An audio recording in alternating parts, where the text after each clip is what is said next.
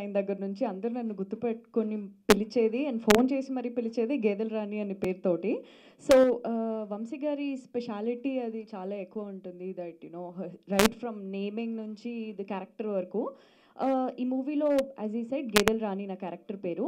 విలేజ్లో ఉంటాను. చాలా గ్రిటీ ఉమెన్ బేసికలీ చాలా చలాకీగా ఉంటాను. At the same time extra చేస్తే తిన్తోటి నాకు చాలా కాంబినేషన్స్ ఉంటాయి. వేర్ తిట్టడం కానీ కొట్టడం కూడా ఉంటుంది. హీ డెంట్ మెన్షన్ దట్ అక్కడక్కడ అన్నారు కదా అదే అది. సో um, చాలా రఫ్ అండ్ స్ట్రాంగ్ క్యారెక్టర్ ఉంటుంది. పేరైతే గెదెల్ రాని స్పెషల్గా వంశీ గారు గురించి ఫస్ట్ నుంచి నేను చెప్తాను. ఫస్ట్ డే నుండి షూట్ జరిగి ఐ థింక్ నా సెలెక్షన్ అప్పటి నుంచే ఒక నాలుగైదు సార్లు రోజు పిలిచేవాళ్ళు నన్ను ఆఫీస్కి పిలిచి కూర్చోపెట్టి he use to talk to me మాట్లాడేవారు నాతోటి చాలా. I I always to feel ఎందుకు why you know just like that audition లేదు ఏం లేదు. ఎప్పుడు ఆడిషన్ అనేది ఒకటి చేయలేదు నాకు ఇప్పటి వరకు. పిలిచి మాట్లాడేవారు అలాగే కూర్చోపెట్టి.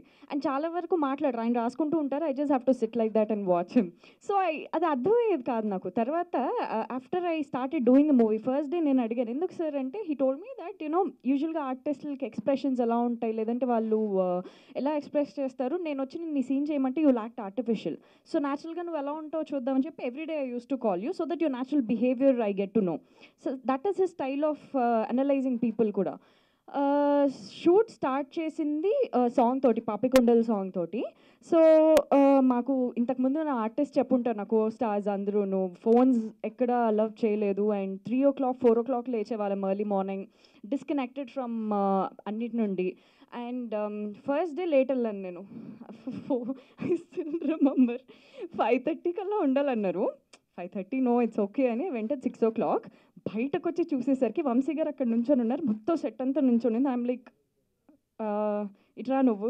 లైక్ సార్ లైక్ ఎందుకు లేట్ వచ్చావని గంట సేపు నన్ను కార్నర్లో ఎండలో నుంచోబెట్టారు. So that was the first day experience with him.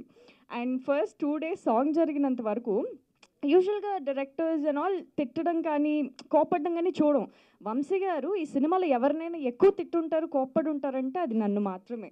I can tell that very proudly because ఎందుకో కూడా చెప్తాను. So first two days shoot అయిపోయాక నాకు ఫోన్ యాక్సెస్ లేదు కానీ ఫోన్ యాక్సెస్ ఉంటే మాత్రం శ్రీధర్ గారికి ఫోన్ చేసి సార్ నేను చెయ్యను సార్ ఈ cinema please I go back home అని చెప్దాం అనుకున్నాను. బట్ ఫోన్ యాక్సెస్ లేదు కాబట్టి I had to shoot for the third day of the song నేను అక్కడి నుంచి ఐ రియలీ స్టార్టెడ్ అండర్స్టాండింగ్ అసలు సార్కి ఏం కావాలి. అండ్ వర్కింగ్ స్టైల్ ఎలా ఉంటుందంటే మనిషి తిట్టు తిట్టే మాట్లాడతారు తిట్టే చెప్తారు మీకు.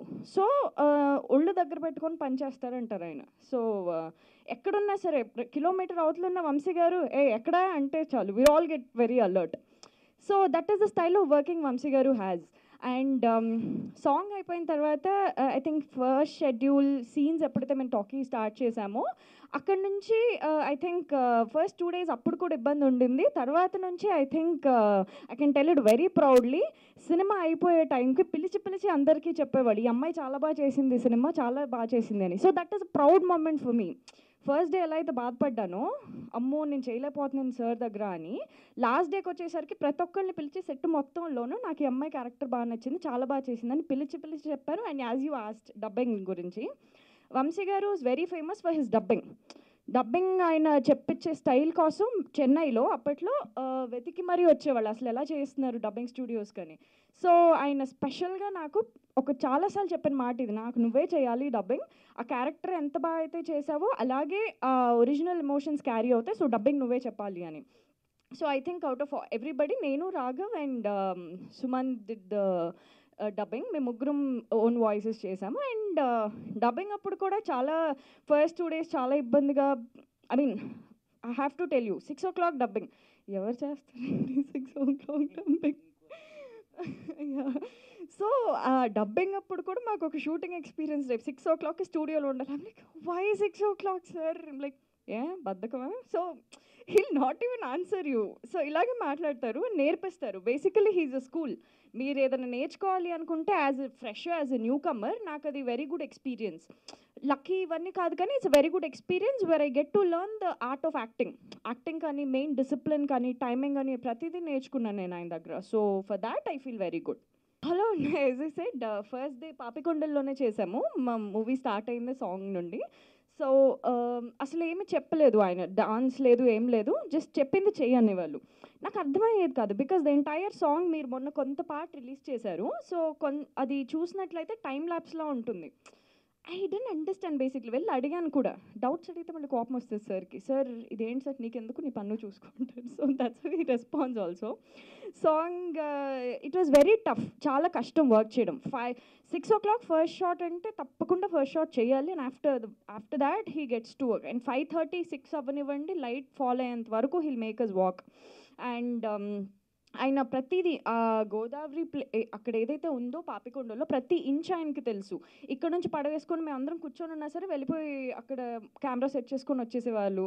అండ్ నాకు కెమెరామ్యాన్ నగేష్ గారికి and Swarna master we all had very beautiful memories sir తోటి అయితే.